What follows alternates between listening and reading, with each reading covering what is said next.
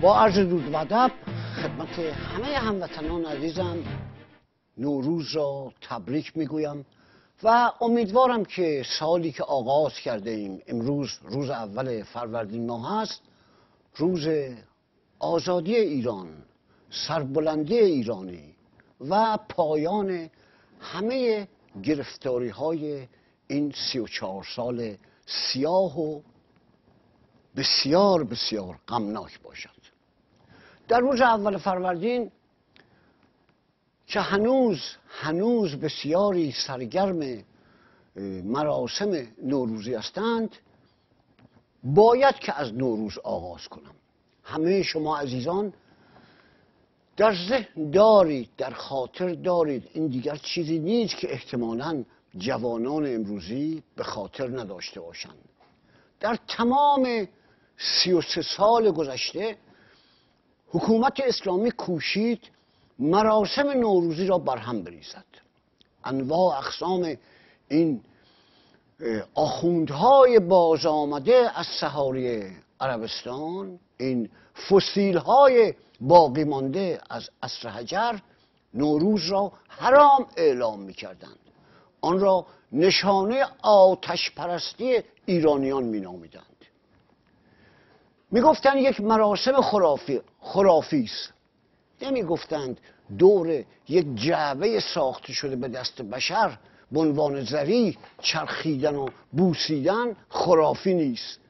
اما اینکه ایرانی مراسم به یاد مانده از اجدادش را گرامی میدارد این خرافی است.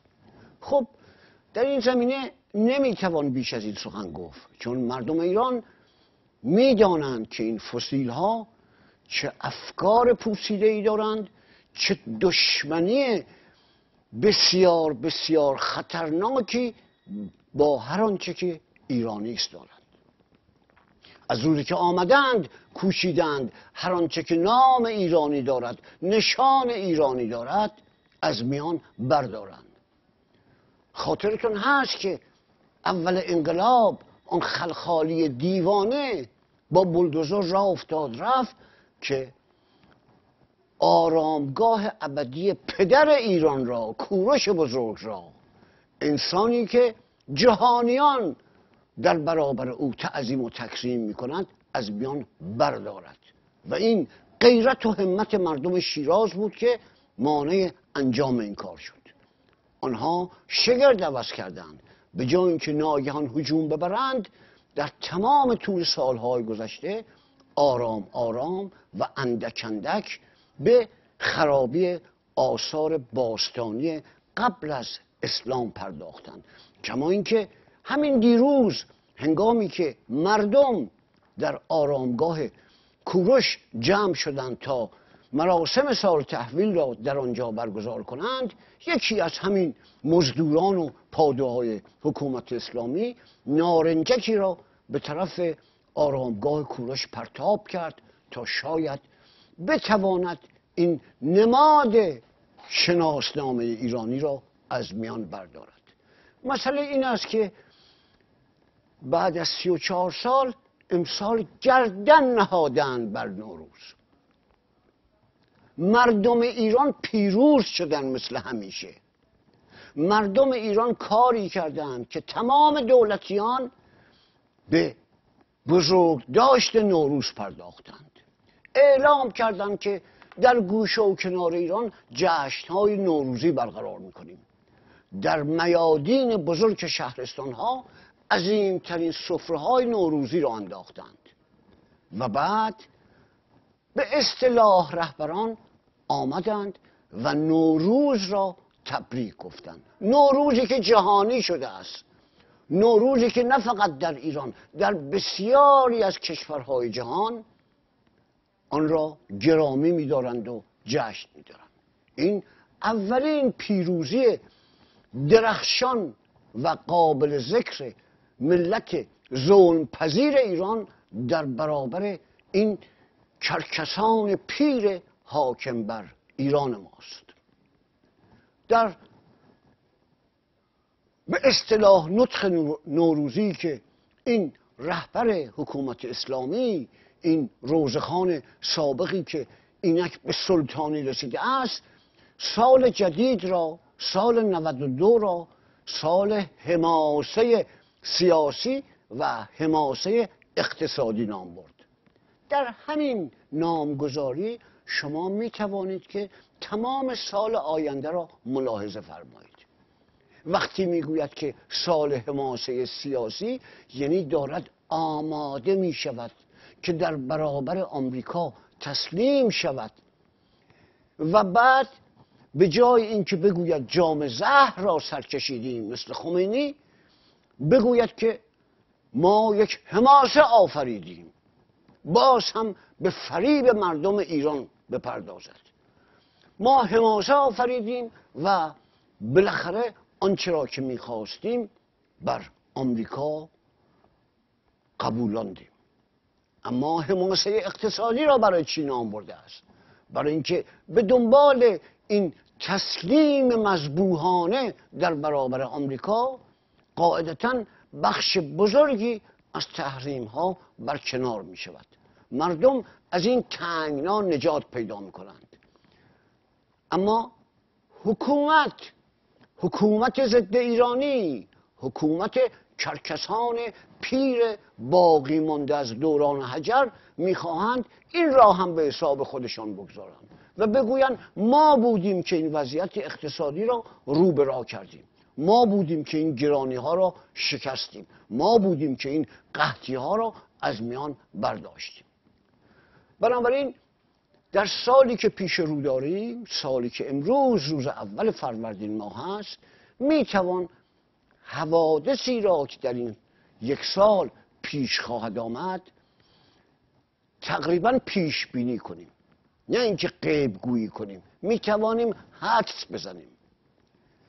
کما اینکه آقای اوباما در سفری که به اسرائیل داشت خیلی روشن خیلی واضح اعلام کرد که ما با تمام قوا پشت سر اسرائیل ایستاده و اجازه نخواهیم داد حکومت اسلامی به بمب اتمی دسترسی پیدا کند. و باز به حزب الله اشاره کرد و گفت این حزب الله به مردم منطقه ظلم می کنند یعنی باز یکی دیگر از بازوهای اجرایی حکومت اسلامی را هدف قرار داد.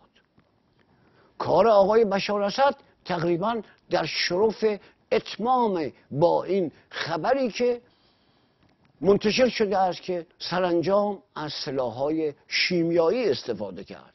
هرچند که بشار اسد می‌گوید مخالفین من بودند که از سلاحهای شیمیایی استفاده کردند.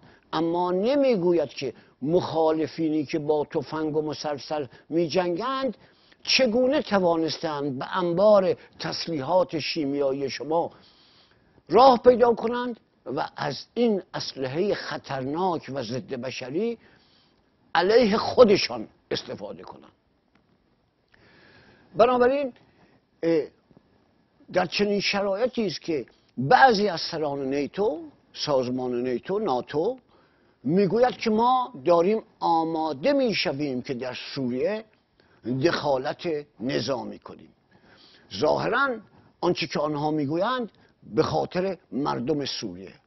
اما چیزی که هنوز معلوم نیست این است که بعد از بشار اسد یک حکومت واپسگرای اسلامی نظیر حکومتی که بر ایران ما حاکم کردند بر ایران ما حاکم کردند از خواب قفلت مردم ایران استفاده کردند و یک حکومت اسلامی را بر ایران حاکم کردند فراموش نکنیم که بهاءالله صد و خورده سال پیش این را پیش بینی کرده بود که اگر مردم ایران بیدار و آگاه نشوند سرانجام این آخوندها حکومت را به دست خواهند گرفت و بدترین ذلت ها را بر مردم ایران حاکم خواهند کرد.